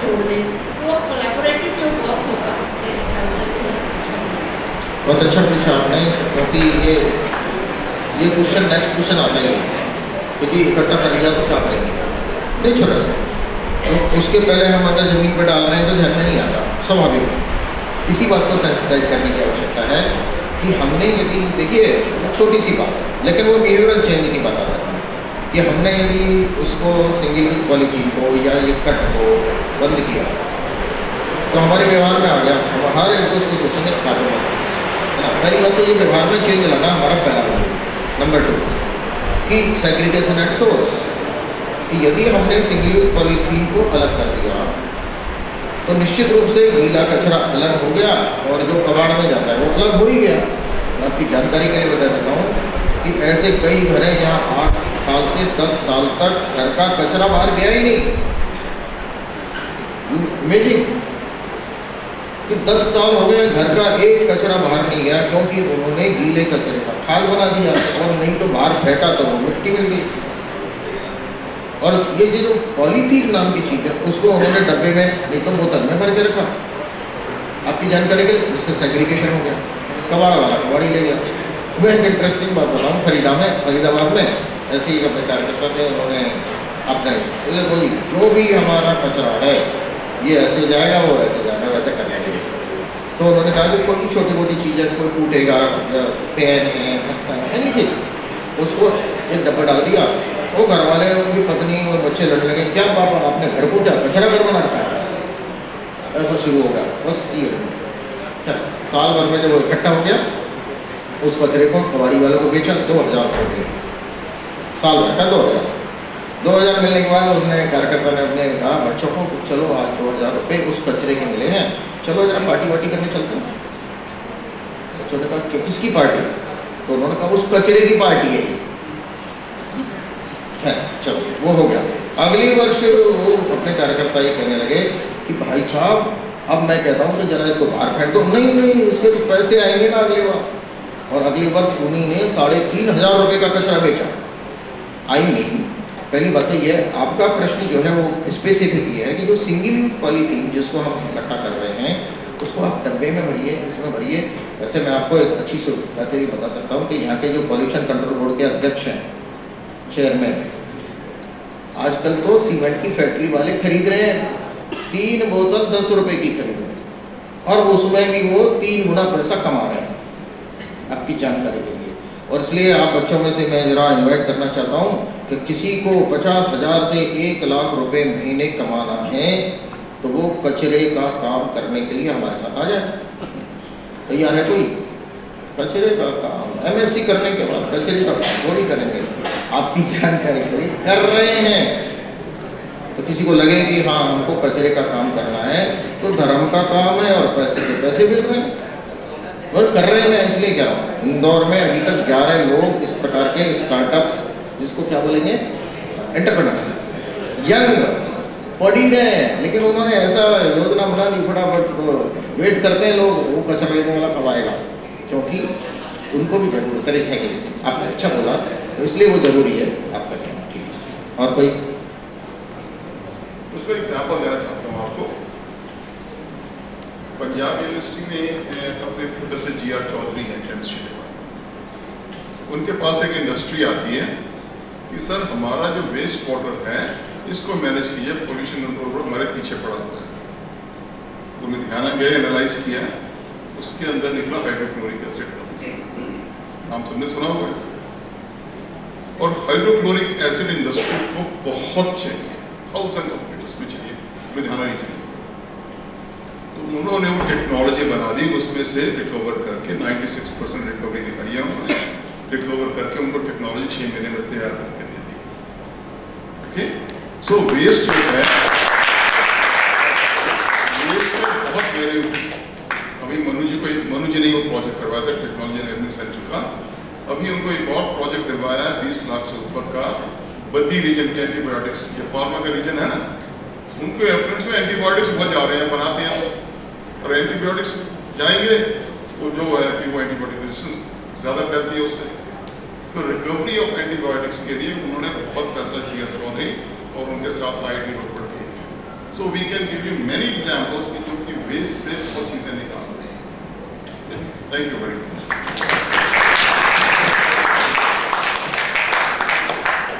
students में से कोई पूछिए। हाँ हाँ। कि जैसे एक तो आपने बताया कि हम अपने लेवल पे कैसे कचरे को मेंटेन कर सकते हैं कि घर पे इको ब्रिक्स बना लिया पहले से ही कचरे के ढेर लगे हुए हैं। उनके लिए क्या किया जा सकता है?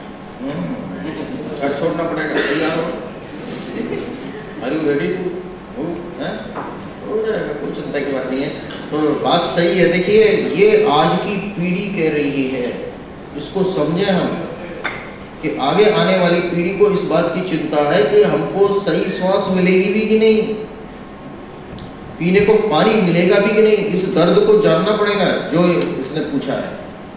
है ना? और इसलिए अभी हम उसके बारे में जो आप कह रहे हैं, उसके लिए बहुत सारी टेक्नोलॉजीज़ हैं। है ना? कि बहुत सारे प्रकार हैं कैपिंग करते हैं जो कचरे के ढेर हैं। लेकिन प्रॉब्लम केवल एक है सेग्रीगेशन एट सोर्स तो हम इसको यदि एड्रेस करेंगे तो जाना कम हो जाएगा। ठीक है ना? और जो है, उसका जो इलाज शुरू हुआ है वो इलाज भी शुरू हो। जाएगा दोनों प्रॉब्लम क्या हो रहा है कि जितना ठीक होता है nine percent ninety one percent अगले दिन वापस आ जाता है। तो हमको इस इनफ्लो को भी रोकना पड़ेगा और आउटफ्लो के लिए जो जो प्रयास चल रहे हैं, वो भी करना पड़ेगा। वो आपने बहुत अच्छा किया कि और उसके लिए कुछ लोगों को वॉलंटियर करना पड़ेगा अपनी ज़िंदगी। ये ध्यान में रखिए, अगर इस प्लेनेट को बचाना है, अगली पीढ़ी को बचाना है, देश को बचाना है तो हमको अपने जीवन के कुछ क्षणों में से समय देना पड़ेगा। या तो राज़ी राज़ी दे दो, नहीं तो कोरोना दोबारा बुलाकर लाना पड़ेगा। मतलब आ ही जाएगा, बुलाने की कराने की बात नहीं कर एनी एनी एनी हाँ यस बहुत अच्छा।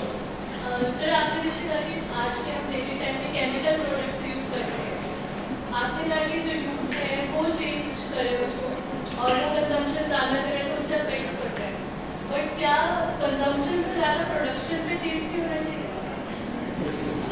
बहुत अच्छी बात कही आपने। ये बहुत, यानी इन्होंने इम्पोर्टेंट क्वेश्चन पूछा है कि ये हमारा पैराडाइम शिफ्ट होना चाहिए। क्या है? तो हमको सस्टेनेबल प्रोडक्शन पर जाना है या सस्टेनेबल कंजम्पशन पर जाना है? चलो बताओ जरा स्टूडेंट्स में सस्टेनेबल कंजम्पशन पर जाना है क्या इस इलाज के लिए या सस्टेनेबल प्रोडक्शन पर जाना है तो देखिए, यही लाइफ स्टाइल में परिवर्तन है ए एम सी करना। मतलब इलाज प्रोडक्शन बढ़ाना नहीं है। इलाज है सस्टेनेबल कंजम्पशन का। देखिए रिन्यूएबल एनर्जी आई बिजली की कमी बिजली की कमी हो रही है। सोलर एनर्जी लगा दी। क्या कंजम्पशन कम हुआ क्या? कंजम्पशन बढ़ गया टेन परसेंट आपकी जानकारी के लिए। तो टेन परसेंट कंजम्पशन बढ़ गया। तो सोलर भी कम पड़ने लगा तो बेटा विंड एनर्जी लाओ। नहीं हाइड्रो लाना पड़ेगा। और किसी को लाने के बाद में भी खर्चा तो कम थोड़ी हो रहा है। वो बढ़ ही रहा है। और इसलिए हमें विचार ये करना पड़ेगा, जो हमारी मूल अध्यात्म था इस देश का, संस्कृति थी इस देश की, जिसमें बोलते थे, तेन तक तेन वंचिता जितनी ज़रूरत है, उससे ज़्यादा का उपभोग नहीं करना चाहिए। और जितनी ज़रूरत है भगवान देता छत फाड़ कर देता खुले आम देता है। देखिए, महात्मा गांधी ने भी कहा था कि nature can fulfil your needs not needs ये हम सबको पता है। इसलिए हमें अपनी आवश्यकताओं के लिए, ठीक है, जो आपने बोला वो ठीक है तो जिस चीज़ के लिए शायद उन्होंने पूछा होगा कि केमिकल फ्री प्रोडक्ट्स हमको प्रोडक्ट प्रोडक्शन करना चाहिए। आई थिंक ये आपने पूछा है ना ये सब लाइक आपको दोनों ही। बोला ठीक है। तो दोनों में हमको अपना वो विचार करना पड़ेगा। दूसरा मैं यहाँ पर बैठा हूँ यूथ के सामने। यूथ को इस समस्या का समाधान करना पड़ेगा। और इसलिए क्यों ना हम इस प्रकार का एंटरप्रेनर बन सकते हैं कि यहाँ की लोकल प्रॉब्लम की समस्या का समाधान हम बन सकते हैं। आगे थोड़ी आएगा हम कर सकते हैं क्या? तो ये हम करें और एक एक स्टार्टअप यहाँ से इस प्रकार के प्रॉब्लम का सोल्यूशन किया है। मैं बहुत ज़्यादा नहीं देना चाहता, लेकिन किया है। और किसी को? हाँ यस हाँ बोलिए। सर लाइक सर आपने बोला एक पेमेंट देश के नाम। सो मीन्स आपका इंस्टीट्यूट के साथ टेक्निकल इंस्टीट्यूट के साथ। जो असेसमेंट कर सके डेली बेसिस पे या एवरी टेन डे पे कि कितना कार्बन फुटप्रिंट उस से या इंडिया में हम कम कर पा रहे हैं आप क्या कार्बन फुटप्रिंट के बारे में बात कर रहे हैं? यस तो पेड़ के पेड़ से कार्बन फुटप्रिंट का कोई ऐसा? यस यस हाँ बैठिए। तो देखिए पेड़ है ना केवल हमको छाया धूप हवा पानी नहीं देता। आपको पता है कोयला कहाँ से बनता है? तो जो हमारी कार्बन डाइऑक्साइड ट्री सिक्वेस्ट करता है मतलब लेते हैं कार्बन डाइऑक्साइड उससे उसकी लकड़ी बनती है। वो लकड़ी पचास हज़ार साल के बाद में कोयला बनता है जो हमको एनर्जी देता है। हम, यानी हम अपने नेचुरल रिसोर्सेज के बारे में थोड़ा बहुत तो आना ही चाहिए। अब जो कार्बन क्रेडिट या कार्बन फुटप्रिंट की बात आप कर रहे हैं, वो, ये पूरा इकोसिस्टम है। उस इकोसिस्टम में हमको जाना पड़ेगा, इसलिए पेड़ लगाना। तो पानी बचाना भी तो ज़रूरी है ना, वो भी तो फुटप्रिंट है। है ना? हर एक चीज़ में है। मैं ये कह रहा था कि कोई भी चीज़ यदि हम उपयोग कर रहे हैं इवन श्वास ले रहे हैं तो भी हम कार्बन फुटप्रिंट छोड़ रहे हैं। ठीक है ना? तो ये तो कुछ ज़्यादा हो जाएगा। हम केवल इतना करें, जो एक्शन की बात आती है कि हम कुछ कर रहे हैं, हमारा कंट्रीब्यूशन तो मैंने जो चार पाँच चीज़ें बताई, क्या हम एनर्जी कंजर्वेशन कर सकते हैं? क्या अपने घर में वाटर कंजर्वेशन कर सकते हैं? मैं बहुत बड़ी बड़ी बात करने की आवश्यकता नहीं, केवल एक बूंद पानी या एक आधा गिलास पानी कर दिया, नहाने के लिए कुछ। वो हम बाद में कभी इसके लिए कोई पाएँगे तो करेंगे, लेकिन कहीं न कहीं से देशभक्ति एक्शन में आनी चाहिए। उसके लिए ये छोटे छोटे प्रयोग हैं, ठीक है? और कोई बात होगी तो आगे कोई अब हाँ।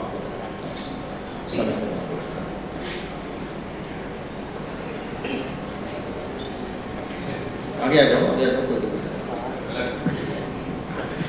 सर, मेरा एक सवाल जैसे बहुत सारी चीज़ें हम सिंगल यूज़ प्लास्टिक नॉर्मली हम लोग करते हैं। पर कुछ चीज़ें ऐसी हैं जिसमें जो अनअवॉइडेबल रहती है, जैसे दूध के पैकेट हो गए या और भी चीज़ें। तो इसके लिए हम लोग जो कंपनी प्रोड्यूस करती है, उनकी लाइबिलिटी कभी भी इसमें नहीं देखी गई या उसके लिए रूल्स हैं या नहीं, मुझे नहीं पता।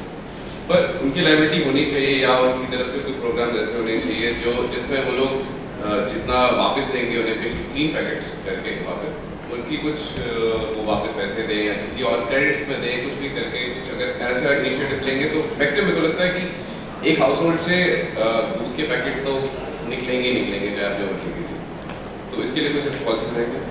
बिल्कुल, बताता हूँ।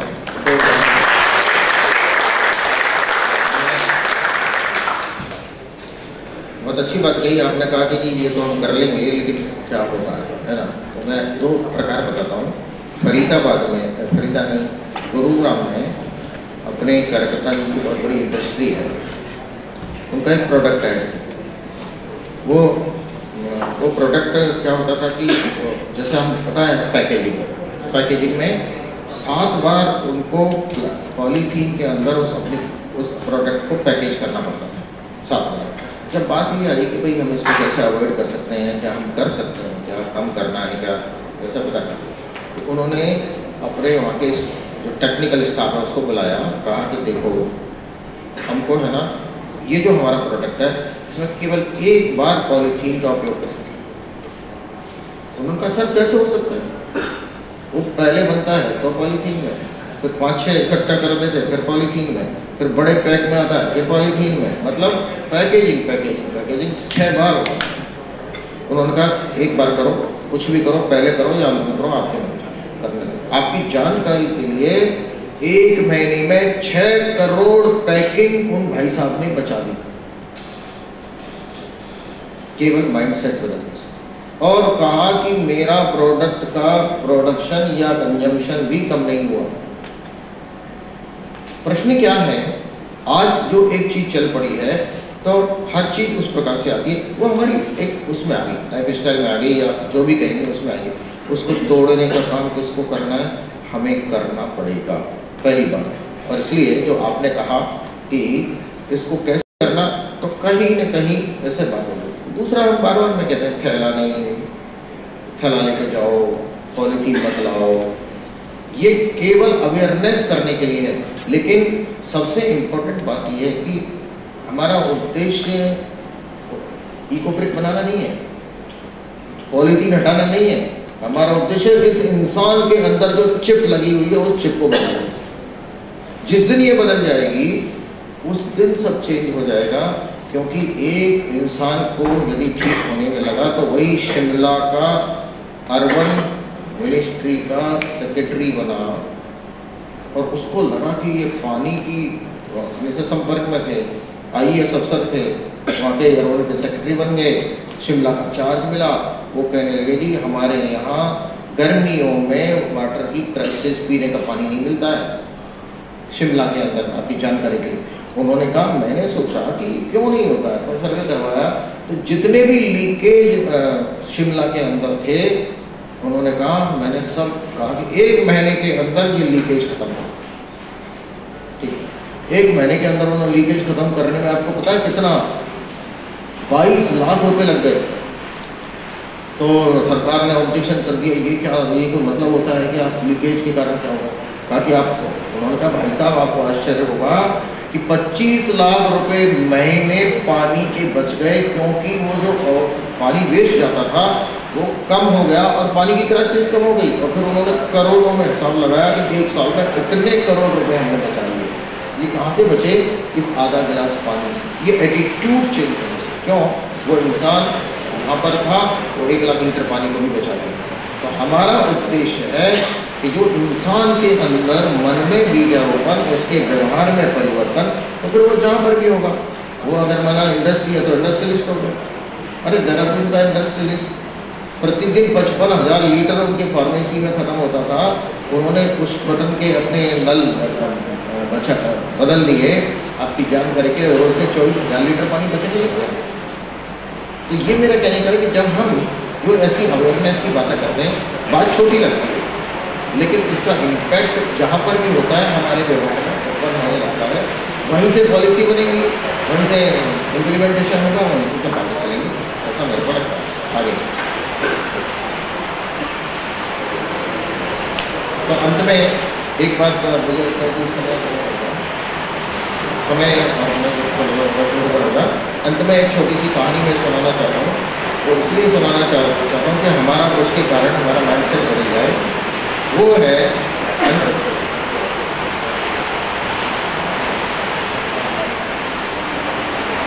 कि हमको कैसे सोचना चाहिए? तो एक बार क्या हुआ? एक एक गाँव के बहुत बड़े पैसे वाले सेठ की थे। उनको हार्ट अटैक आ गया। हार्ट अटैक आ गया तो हॉस्पिटल एडमिट हो गए।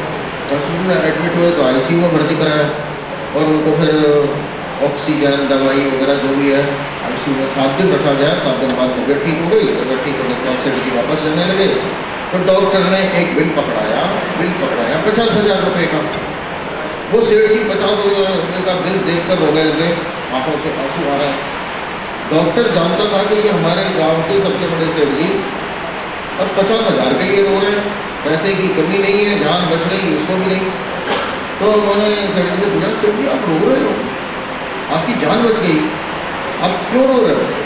जो सेठ जी ने कहा, वो हम सबके लिए सुनने लाएँगे वो सेठ जी ने कहा, डॉक्टर साहब, मैं ना आपके इसके लिए नहीं रो रहा पचास हज़ार के लिए। मैं रो इसलिए रहा हूँ कि आपने सात दिन मुझे आईसीयू में रखा। मेरे को थोड़ी दवाई दी ऑक्सीजन लगाई, और उसके आप मेरे से पचास हज़ार रुपये ले रहे हो। अरे मैं जिस दिन से पैदा हुआ हूँ, और साठ साल का हो गया, साठ साल तक मैंने इस नेचर को एक पैसे का टैक्स नहीं दिया। मैं इसको कैसे चुकाऊँगा, इसलिए मेरे को रोना है। क्या हम विचार कर सकते हैं? कि जो नेचर हमको ज़िंदा रहने के लिए हर सांस देती है, पीने के लिए हर घूम पानी देती है, और ज़मीन से हमको ये भारत माता जिसको माँ बोलते हैं, वो अपना सब कुछ निकाल कर हमको खाने के लिए हमें देती है। अब विचार करिए, उसको हम क्या देते हैं?